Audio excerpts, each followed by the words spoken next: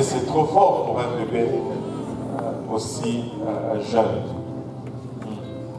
Et euh, donc, on va, on va faire la dédicace aujourd'hui. Amen.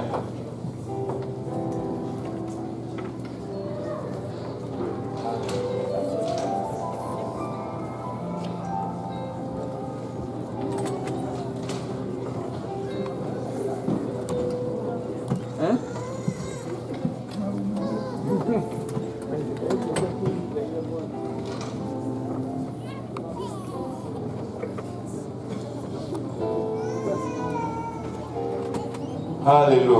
Le Seigneur est bon, n'est-ce Et euh, c'est un privilège et un honneur aujourd'hui de faire le dédicace de Karen Esther. Euh, je me rappelle, c'est toujours un moment pour moi qui amène beaucoup de souvenirs. Euh, parce qu'avec chaque famille, chaque couple, il y a toujours une histoire. Une belle histoire de comment Dieu étend sa main et œuvre dans, dans leur vie. Et, tu vois la transformation opérée. Tu te dis, waouh! Je me rappelle de la sœur Flore, ses débuts dans les études bibliques. Débuts. des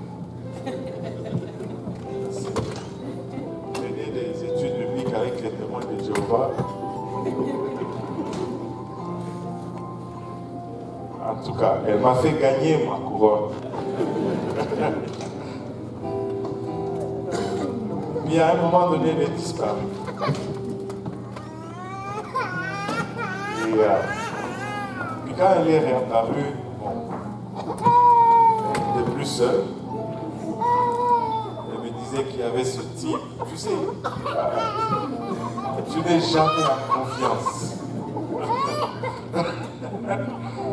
ce type oh, oh. en Côte d'Ivoire, ah, c'est quoi encore?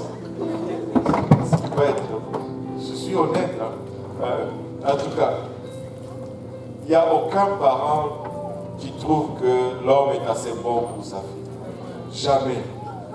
Ils sont tous inqualifiés en fait. Et bon, euh, finalement, le, frère Boaz est venu. Bon, il s'est regardé de loin. Nous, on l'observait, lui aussi nous observait. Heureusement que Jésus s'est mis au milieu. Et, Jésus s'est interposé. Et euh, finalement, c'est fantastique, phénoménal. Quel de Dieu extraordinaire que le Seigneur est en train d'élever dans le cœur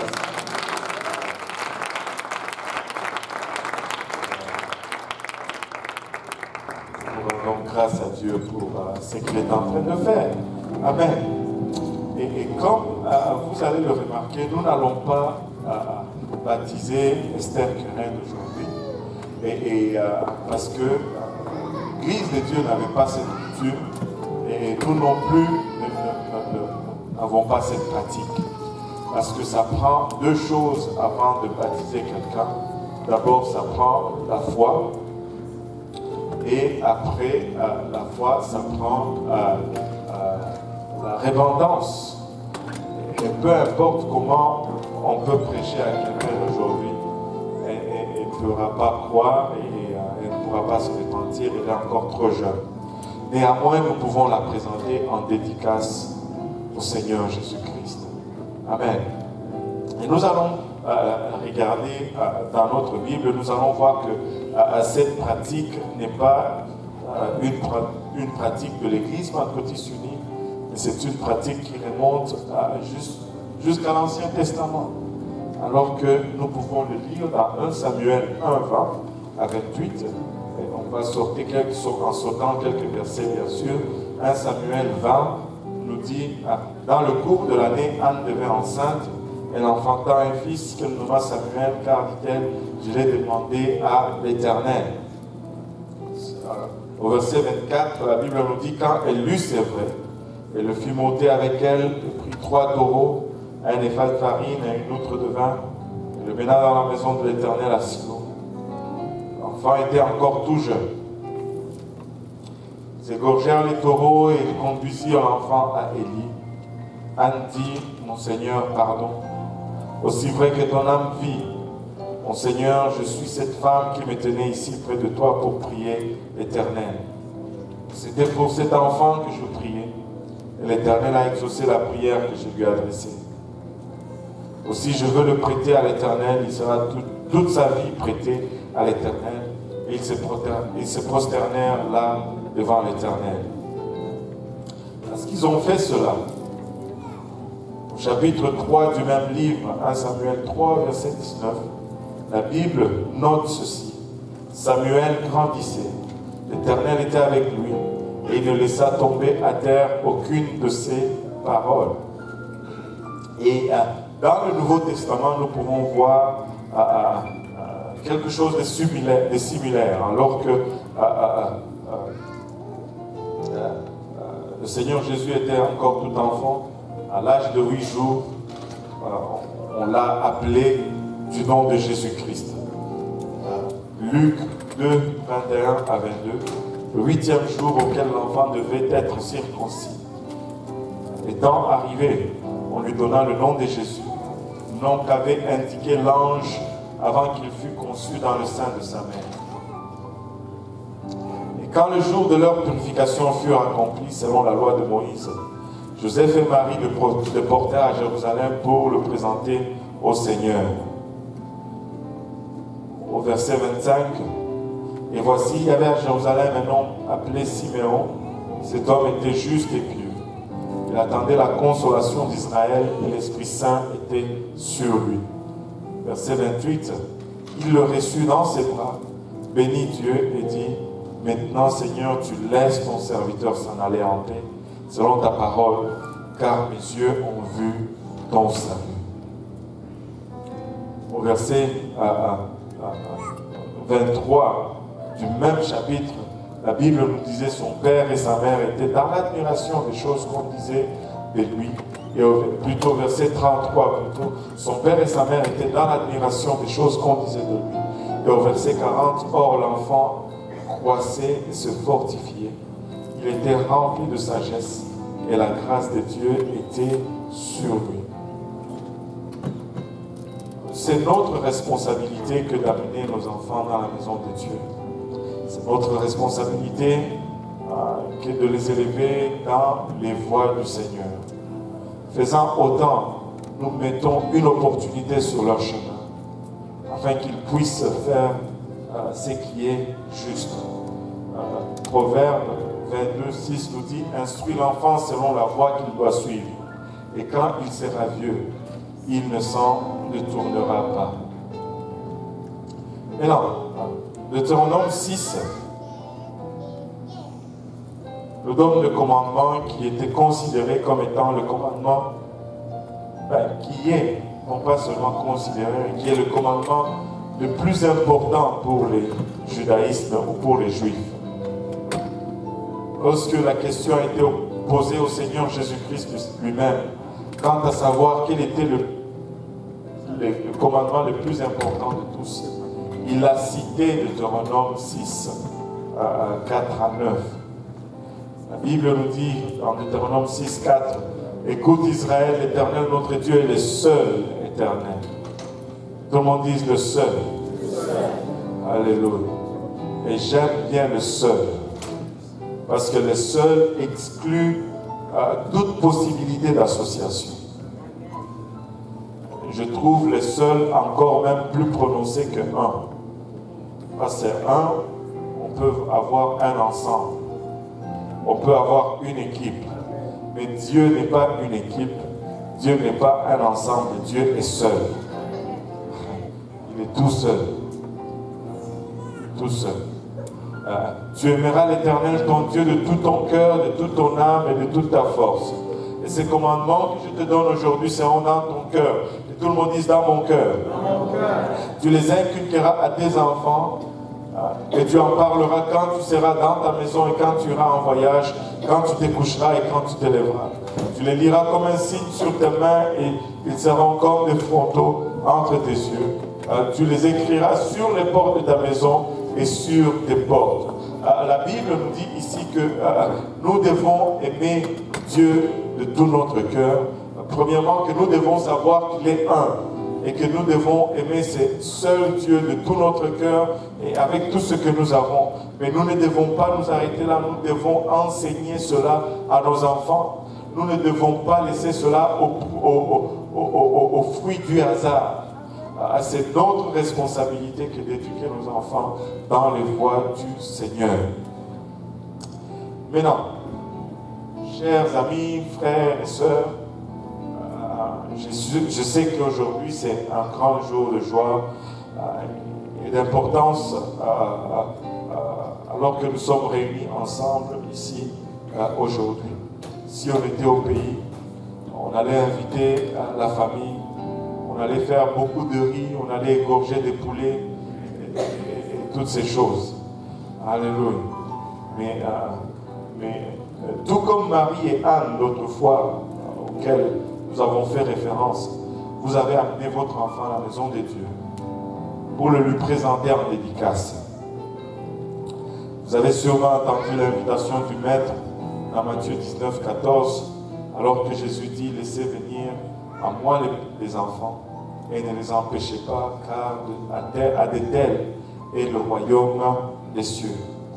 Et c'est approprié de votre part que vous ameniez votre enfant alors que le sort de sa naissance est encore euh, sur vous. Et le mystère et le merveille de cette nouvelle vie euh, vous amène à vous tenir debout et avec révérence devant le Père de toute vie. Et, cette nouvelle vie vous donne euh, un nouveau message de dignité et d'obligation parentale. Cette nouvelle vie vous rappelle également certaines obligations et certains devoirs. Et le but de ce service, c'est de vous aider en tant que parent à, prendre plaisir dans ces obligations, euh, dans le but d'élever euh, votre enfant euh, dans l'enseignement et l'exhortation du Seigneur. Afin que lorsqu'elle aura atteint l'âge de la responsabilité, qu'elle se détourne naturellement du mal vers le bien qu'elle accepte le Seigneur Jésus-Christ comme son maître et son sauveur. Dieu a un plan pour elle aujourd'hui. De trouver ce plan et de le vivre pleinement va signifier le succès pour elle. Mais de le refuser, de l'ignorer, va conduire à l'échec. Et peu importe les acclamations ou les les réussites mondaines, les accomplissements reçus ou l'accumulation de biens matériels. Et c'est votre privilège et votre responsabilité que de guider Querelle aujourd'hui, de manière à ce que la volonté de Dieu soit sa plus grande ambition dans la vie. Et à cela, nous allons vous exhorter à vous consacrer aujourd'hui en vue de cela, nous allons euh, faire la dédicace euh, de Keren aujourd'hui. Euh, c'est quoi l'autre nom? Esther. Keren Esther. Oh boy. Tout pour compliquer la vie du pasteur. Keren Esther. Maintenant, Sœur Marie-Flore, Frère Boaz, allez-vous vous engager? À faire tout à votre possible pour élever Karen Esther dans le voie du Seigneur. Ils ont dit oui. Alors c'est un privilège pour moi de le dédier à va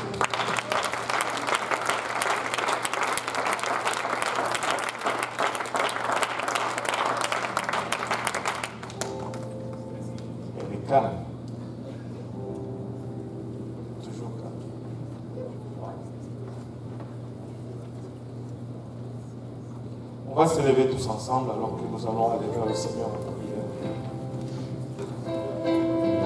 Papa, nous te rendons grâce, nous voulons t'honorer aujourd'hui. Nous voulons bénir ton Saint-Nom, Seigneur. Nous voulons l'exalter, Seigneur Jésus-Christ, alors que nous venons humblement ensemble d'un seul accord devant ton trône. Et dans nos vies, Seigneur, une autre vie, une vie fragile, Seigneur. Papa, néanmoins, tout, tout un plan, Seigneur Jésus-Christ, qui l'attend, Seigneur. Papa, humblement, nous venons amener par le bras de la foi. Alors que nous faisons ainsi, nous venons prier d'abord pour les parents, papa, la famille, les amis, les témoins qui sont présents ici en ce lieu. Notre prière, ô Éternel, c'est que tu nous aides tous à aligner nos vies avec ta parole, à former nos environnements, nos maisons, nos demeures, afin que ce soit des lieux où vraiment, Seigneur, ton nom est regardé et considéré avec beaucoup d'estime, où des louanges et des cantiques sont élevés continuellement à longueur de journée en ton honneur, Seigneur. Papa, aide-nous à servir d'exemple, à former nos vies de sorte que nous puissions être un exemple positif pour Esther Karen ou Karen Esther aujourd'hui. Seigneur, Alors qu'elle est trop jeune pour comprendre les choses spirituelles, Père, nous venons prier ta protection sur elle, Papa. Nous venons prier que tu protèges ses sorties et ses retours. Papa, que tu la bénisses, Papa, et que tu la protèges de tout accident, de toute embûche, de toute maladie, Seigneur. Papa, que tu assignes un ange pour veiller sur elle. Papa, il a la protégeant contre tout, tout mal, ô éternel. Elle est trop jeune encore pour comprendre les choses spirituelles. Néanmoins, nous prions, Seigneur, que tu la gardes alors qu'elle grandit, Seigneur. Qu'elle puisse grandir dans la crainte de ton nom et dans l'amour de ta parole. Alors qu'elle va arriver à l'âge de la compréhension, Seigneur. Qu'elle puisse entendre l'évangile, y croire, y obéir, se repentir de ses péchés, se faire baptiser au nom de Jésus-Christ, recevoir le don du Saint-Esprit et qu'elle vive pleinement pour toi. Et qu'elle soit un outil, Papa, d'honneur dans tes mains, Seigneur. Papa, pour cette cause, Seigneur, nous venons la dédier à ton nom, Seigneur. Pour cette cause, nous venons la remettre, Papa, entre tes saints bras, Seigneur Jésus-Christ. Et bénis-nous tous ensemble. Maintenant, nous te prions pour le restant de ce service, le restant de la journée, alors que nous présentons Reine Esther en dédicace à toi, Seigneur. Au nom de Jésus, nous avons ainsi prié. Nous disons tous au nom de Jésus. Nous disons tous au nom de Jésus.